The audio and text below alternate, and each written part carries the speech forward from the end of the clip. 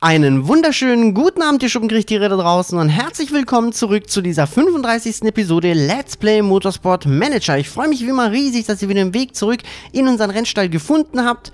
Und ja, lasst uns dann einmal gemeinsam die Nachrichten erstmal abchecken. Wir sehen eben, Rodriguez legt rasendes Tempo im Training vor, heißt, er hat die schnellste Rundenzeit beim Training ähm, in Guildford, äh, ja, für sich erringen können. Dann gucken wir mal hier in den Fahrzeugzustand rein. Wir sehen eben, dass Lissandro Cruz sein Fahrzeugzustand minus 51% äh, beträgt, während bei Rafael Rodriguez es minus 53% sind. Die Reparaturdauer wird dementsprechend wieder 12 Stunden in Anspruch nehmen. So, dann sehen wir hier einmal das vorübergehende Merkmal, was Rafael Rodriguez durch seinen Sieg ja errungen hat. Das ist eben ja der, das Merkmal äh, Rennsieg, was eben die nächsten zwei Wochen dafür sorgt, dass er plus 15 auf seine Moral erhält. So, dann sehen wir hier einmal den hart erkämpften Sieg für Rodriguez in Guildford und das war wirklich ein Top-Rennen. Also hier hat Rodriguez von der 20. Position aus musste er ja wie immer starten und hat hier von vornherein ordentlich Druck gemacht, einen nach den anderen überholt und hat sich über das gesamte Rennen, bis er ganz vorne am ersten Platz war, hat er sich mit Strambi wirklich ein interessantes Duell geliefert und Strambi, muss man auch sagen, ist wirklich verdient auf dem zweiten Platz dann schlussendlich gelandet. Zu unserem Glück ist sein Teamkollege Tyler, der ja ebenfalls wie Strambi für das Oso Motorteam äh, fährt, ja, recht früh ausgeschieden, hat eben einen Unfall gebaut, ist, hat sich gegen die Leitplanke mit seinem Auto gesetzt und somit konnten wir natürlich ähm, unseren Punkteabstand zum Oso Motorteam, die momentan auf dem zweiten Platz liegen, noch weiter ausbauen. Und das macht für uns die Teammeisterschaft ja so gut wie schon sicher. Ich kann mir kaum vorstellen, dass wir hier noch irgendwie ja den Aufstieg verpatzen, liebe Schuppenkriechtiere. Dazu haben wir einfach die ja die ersten sieben Rennen dieser Saison einfach ein zu herausragende Ergebnisse eingefahren. So, dann wollen wir uns auch einmal den Scouting Report anschauen. Wir sehen eben hier, dass Amy McCloud gescoutet wurde und wir gucken mal rein und sie ist eben 20 Jahre alt, hat aber leider ein sehr begrenztes Potenzial mit dreieinhalb Sternen. Also für uns nicht wirklich interessant. Dann hat sie noch eben, wir gucken uns noch einmal kurz gemeinsam diese dauerhaften Merkmale an. Sie hat eben einmal das äh, Merkmal hässlich, das heißt ihre Marktfähigkeit liegt bei oder bekommt einen Malus von 30 äh, Punkten. Und dann hat sie den anderen, noch ein anderes Merkmal, nämlich geborene Anführerin. Dieses ist schon wesentlich interessanter, denn das bedeutet, sobald sie in einem Rennen auf dem ersten Platz fährt, erhält sie auf all ihre Werte nochmal plus zwei. Wenn wir uns das jetzt vorstellen, dass Rodriguez dieses Merkmal hätte, dann wäre das natürlich ziemlich cool, denn das würde bedeuten, sobald Rodriguez auf der ersten Position ist, fährt er nochmal besser, als er es sowieso schon tun würde. Gut, aber dann hätten wir das hier alles einmal komplett durch. Da wir sowieso auf die Fahrzeugreparatur warten müssen, hätte ich einfach gesagt, lassen wir einmal die Zeit erstmal weiterlaufen. So, und da sehen wir auch schon, die Reparatur wurde abgeschlossen. Das heißt, wir können uns jetzt einmal der Teileverbesserung widmen. Ein äh, neues Teil, würde ich sagen, bauen wir jetzt erstmal nicht, denn wir haben ja gesagt, wir wollen Geld sparen. Und dann gucken wir einmal, was wir hier tun können. Gut, einerseits klar, die Zuverlässigkeit hier von dem Getriebe und vom Motor würde ich jetzt erstmal bei belassen, dass ich das weiterentwickeln kann.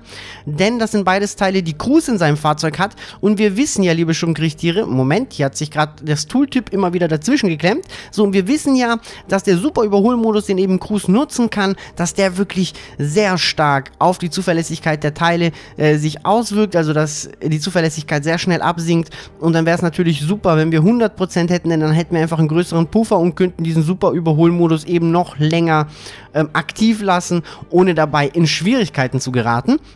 Was die Leistungsverbesserung angeht, würde ich auch sagen, warten wir einfach, dass eben das, äh, die Aufhängung hier einmal und das Getriebe eben ebenfalls ja, den Maximalwert erreichen und mehr müssen wir im Prinzip hier für den Moment zumindest mal nicht einstellen. Dann würde ich sagen, wir drücken wieder auf Weiter und lassen hier wieder die Zeit ablaufen. Da sehen wir schon, dass der Asia Pacific Super Cup bald wieder ähm, ja, aussimuliert werden muss. Allerdings vorher bekommen wir erstmal ein paar neue Nachrichten. Und zwar immer mehr Gerüchte um den Ausstieg von Claudia Dreifuß. Okay, offenbar will Claudia Dreifuß äh, das Team Octon Racing verlassen. Zum Ende der Saison oder interessiert uns jetzt erstmal nicht so sehr, denn wir wissen ja, Claudia Dreifuß ist jetzt nicht gerade die überragende Fahrerin. So, dann haben wir noch ein Dilemma hier. Wollen wir mal schauen, um was es sich hier dreht. Und zwar Schlange. Ich frage mich, ob sie bei der nächsten Abstimmung wohl für, den, äh, für Punkte für die Top 6 stimmen könnten. Das kann sich durchaus für sie auszahlen, wenn sie verstehen. Okay, ich verstehe, um was es geht. Also es geht darum, dass praktisch die... Moment, wir schauen das mal kurz in der GMA nach, damit ich mir auch ganz sicher bin, dass ich euch hier keinen Unfug erzähle. Das müsste genau das hier sein. Das bedeutet im Prinzip würde jetzt also in der nächsten Saison umgestellt werden, dass nicht mehr alle Fahrer Punkte bekommen, sondern tatsächlich nur noch die sechs besten Fahrer, so wie wir es eben aus, auch aus den anderen Rennserien gesehen haben. Ähm, und wir werden eben im Prinzip hier gefragt, ob wir das dafür zustimmen könnten. Dann würden wir 250.000 bekommen oder wir enthalten uns und wir bekommen das eben nicht. Ich würde sagen, warum nicht? 250.000 geschenkt auf die Kralle kostet uns eine Stimme sozusagen. Wir haben ja schon fünf auf der hohen Kante. Dann passt das. Ich würde sagen, wir nehmen das. Wir sagen ihm Jo. Dann stimmen wir eben dafür wenn du das möchtest. Und dann kriegen wir eine Viertelmillion auch noch zusätzlich aufs Konto überwiesen. Gut, dann können wir es auch schon wieder weiterlaufen lassen. Und dann wird es jetzt gleich nochmal anhalten, genau, weil jetzt muss noch die Simulation des Asia Pacific Super Cup äh, stattfinden. Dann können wir uns auch hier gleich einmal angucken, ja, wie das Rennen zu Ende ging und welche Überraschung Cavalcanti dieses Mal sogar Erste geworden hat, also dieses Mal wohl ein sehr gutes Rennen gefahren und Becker ist tatsächlich nur auf dem 14. Platz gelandet. Ich finde diese Sache allerdings auch nicht allzu schlecht, denn ich mache mir ein bisschen Sorgen, ob Becker es schafft, äh, mit seinem Team Boy Speranza Erster zu bleiben. Denn wenn das ihm gelingt, dann wird er natürlich in der nächsten Saison in die World Motorsport Championship aufsteigen und dann wird es für uns unmöglich, Becker abzuwerben. Ich würde aber Becker wirklich sehr gerne abwerben, wenn sich die Möglichkeit dazu irgendwie ergibt. Gut, dann hätten wir das aber auch einmal analysiert und dann wäre das auch im Prinzip für uns durch das Thema und dann können wir auch schon wieder auf Weiterklicken, denn im Moment ist noch nichts passiert. So, da hat sich gerade die Leistungsverbesserung abgeschlossen, sehe ich. Genau, wir gehen einmal rein und dann gucken wir, ob wir hier noch irgendwelche Teile haben. Ja, nämlich die Bremsen, die wir weiter verbessern können.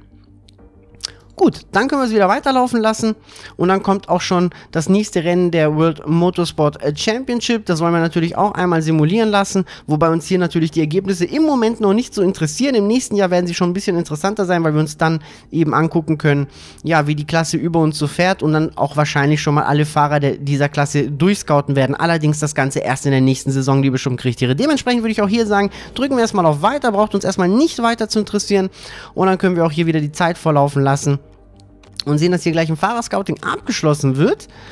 So, dann gucken wir uns das einmal direkt an.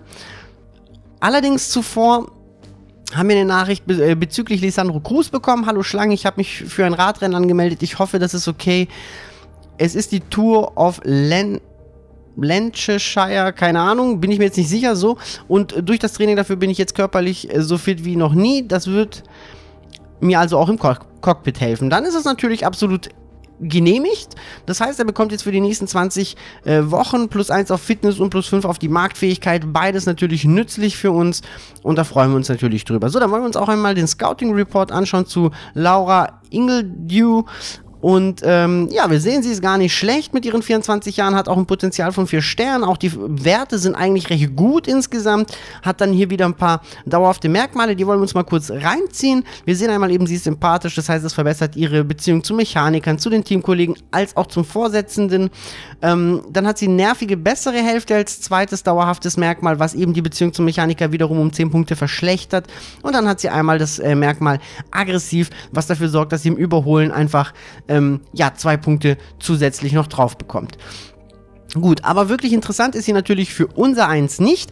Dementsprechend wollen wir jetzt erstmal uns neue Fahrer aussuchen, die wir dann eben oder beziehungsweise neue Leute, die wir eben scouten können, also schon Fahrer, die wir eben scouten können für die ja, für die nächste Saison, dass wir da eben vorbereitet sind und wissen, was da auf uns zukommt. Dementsprechend wieder gehen wir einfach alle Fahrer von oben nach unten durch. Hupsala, da wollte ich natürlich nicht hinklicken. Ich wollte eigentlich auf das äh, Button Fahrer sichten klicken. So machen wir einmal. Und dann haben wir wieder zwei neue Fahrer, die wir am Scouten sind. Und dann können wir es auch schon wieder weiterlaufen lassen. So, und wir sehen schon, die Reise nach Tondella steht kurz bevor. Es ist äh, nicht mehr lang. Und zwar jetzt sind wir soweit, dass wir im Prinzip uns gleich dann ins Training stürzen können. Vorher gucken wir noch kurz hier, was abgeht. Ja, wir sehen eben, dass sich die Zuverlässigkeit der Teile komplett verbessert hat. Ich würde sagen, wir können jetzt auch noch andere Teile, wie zum Beispiel den Motor von Lis äh, Entschuldigung, nicht Lisandro Cruz, von, sondern von Rafael Rodriguez einmal auch noch weiter verbessern. Also nicht, dass wir bisher Probleme damit bekommen hätten, hätten aber sicherheitshalber machen wir das trotzdem und auch einmal das Getriebe.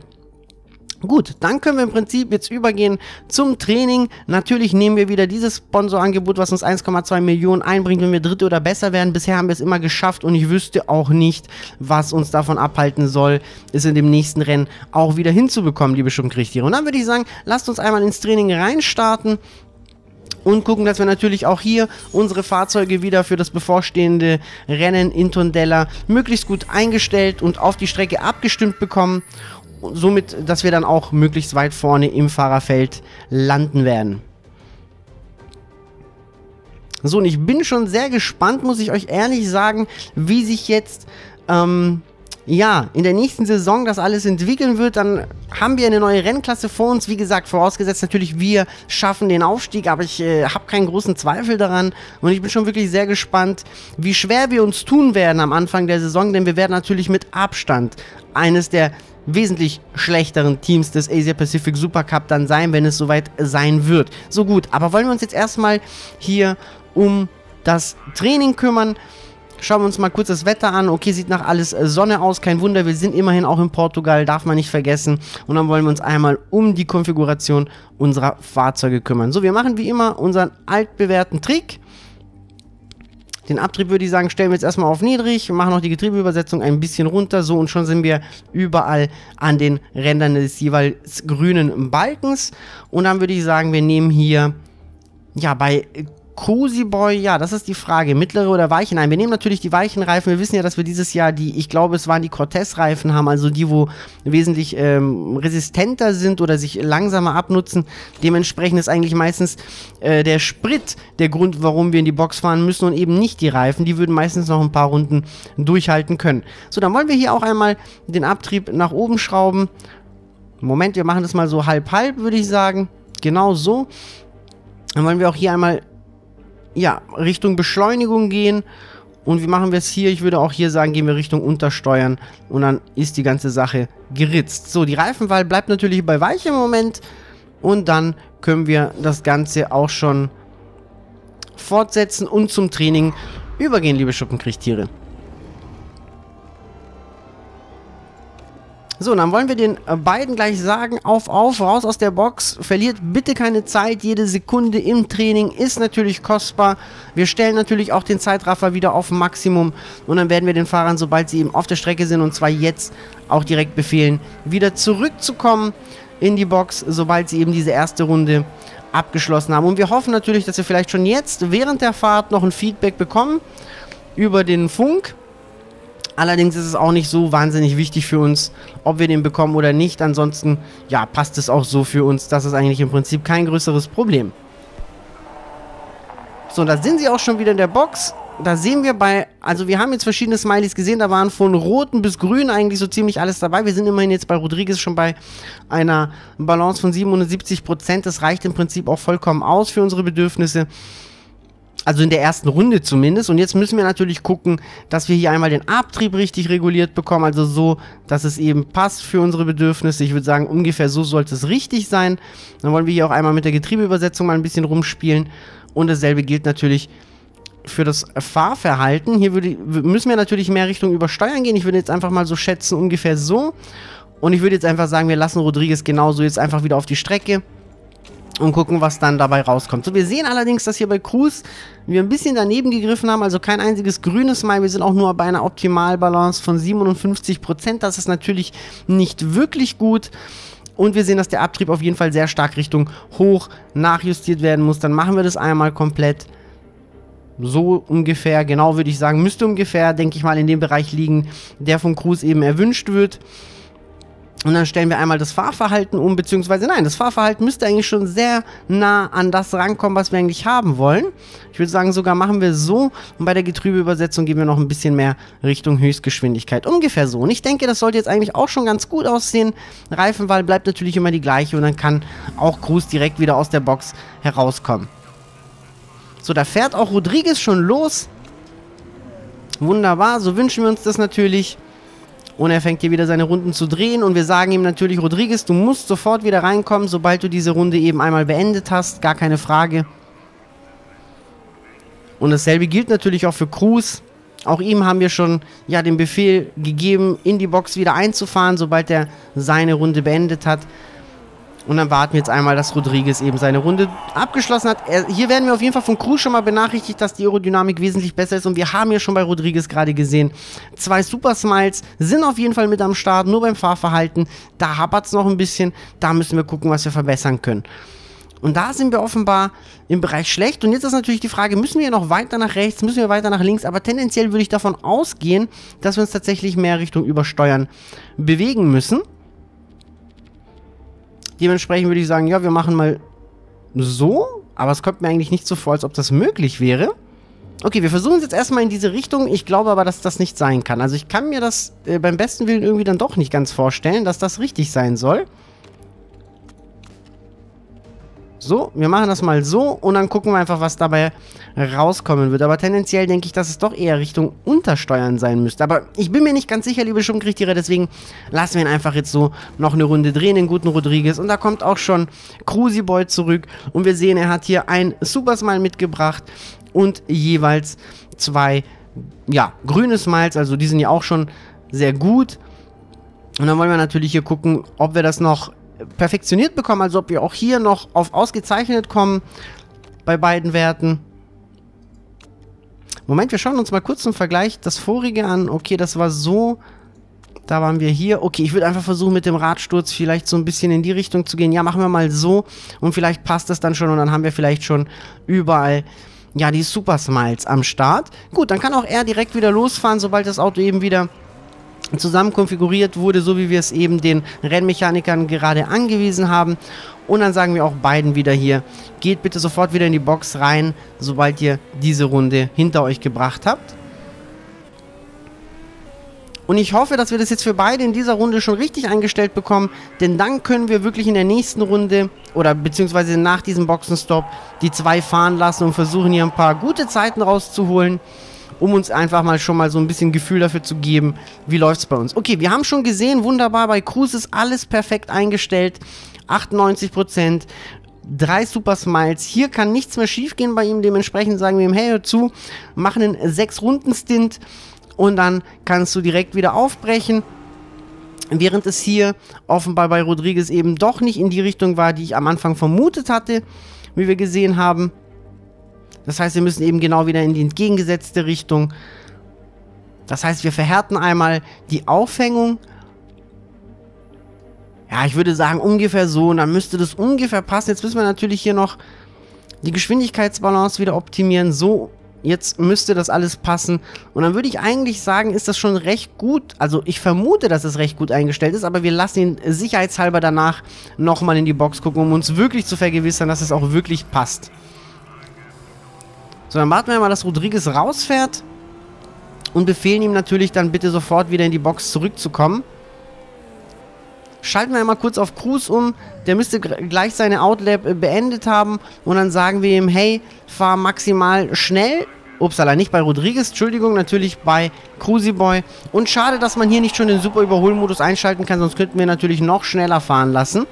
So, dann klicken wir wieder auf Rodriguez rüber und warten, dass er eben gleich in die Box reinfährt, damit wir ihn gleich nochmal neu konfigurieren können. Und auch er hat super Smiles bis zum Abwinken, also alle drei voll. Das heißt, wir sind auch bei ihm bei 98%. Das heißt, auch er kann jetzt seinen 6-Runden-Stint antreten und einfach mal uns zeigen, wie schnell er diese Runden hier zu Ende bringen kann. So, und jetzt können wir gleich gespannt sein, denn, Moment, wir stellen eigentlich, ach, wisst ihr was, wir stellen schon auch jetzt bei Rodriguez ein, er soll maximal schnell fahren, zumindest was das Überholen angeht, soll er schon mal seinen Sprit verblasen. Sprit hat er ja genug dabei, da müssen wir uns keine Sorgen machen. Mit den Reifen warten wir noch kurz, bis er kurz vor der Ziellinie ist, kurz bevor die Outlap eben beendet ist. Und zwar würde ich sagen jetzt. Und dann wollen wir uns mal angucken, was unsere beiden Fahrer ja für eine Runde fahren. Wir schauen natürlich hier immer auf die Sektorenmarkierung, um einfach zu sehen, ist er schnell unterwegs, ist er nicht schnell unterwegs. Wenn sich hier natürlich, ja, lila fühlt, ist wunderbar. Das heißt, er ist momentan der schnellste in diesem Sektor überhaupt gewesen. Wenn er den zweiten Sektor auch noch hinbekommt und das tut er, dann können wir uns eigentlich fast sicher sein, dass er wahrscheinlich die erste Position bekommen wird. Und Cruz hat sogar momentan die schnellste Runde äh, gehabt. Und jetzt wird er wahrscheinlich von Rodriguez überboten werden und so ist es auch. Und hier sehen wir es, Rodriguez und Cruz, beide, ja, auf der Pole Position was die Trainingszeiten angeht. Gut, jetzt wurde Cruz inzwischen von Antonov ähm, abgelöst, ist nur noch auf der dritten Position, aber auch das ist noch mehr als genug, liebe Schuppenkrieg-Theresa. Da müssen wir uns überhaupt keine Sorgen machen. Wir lassen hier Rodriguez noch seine letzte Runde zu Ende fahren und gucken uns dann einmal gleich an. Beziehungsweise nein, er ist eigentlich schon am Ende. Er muss jetzt nur einmal in die Box zurückkommen. Wunderbar. Also auch hier wieder die Einstellung. Herausragend sind sie uns gelungen. Ich kann mir kaum vorstellen, dass beim nächsten Rennen irgendwas schief gehen wird. Es sei denn, es passieren natürlich Eventualitäten, wie zum Beispiel ein Unfall. Aber bis jetzt sind wir davon immer verschont geblieben. Gut, dann wollen wir uns einmal angucken, ob es hier neue Textblöcke äh, gibt für uns. So, hier scheint was Neues zu sein. Das habe ich zumindest noch nie gelesen. Ich folge dem Motorsport seit 42 Jahren und habe noch nie jemand Schlechteren gesehen als Hong Liao ein Witz. Okay. Die Saison lief gut für Rafael Rodriguez. Das nenne ich Talent. Da hat natürlich Hasib okay, den Nachnamen kriege ich jetzt nicht ausgesprochen, Lalamuanpoya ihr wisst, wen ich meine, ihn hier eben. Ja, da hat er natürlich recht und bei Predator Racing Group lief alles wie am Schnürchen. Schlangenzunge freut sich sicher wie ein Schneekönig. Nein, natürlich wie ein Schlangenkönig, das wisst ihr schon, liebe Schumgerichtiere, und das ist natürlich der Beweis, dass wir diesen Textblock auch schon mal gelesen haben. Gut, in dem Fall bedanke ich mich bei euch fürs Zuschauen. Ich wünsche euch wie immer einen wunderschönen Abend. Wenn euch das Ganze gefallen hat, würde ich mich riesig über ein Like freuen. Wenn ihr das Ganze kommentieren wollt, dann tut das immer gerne. Und wenn ihr mir helfen wollt, ja, dass noch mehr Schuppenkriechtiere den Weg auf oder in unseren Rennstall finden, dann würde ich mich wie immer riesig freuen, wenn ihr meine Videos teilt. In diesem Sinne, einen wunderschönen Abend und bis zum nächsten Mal.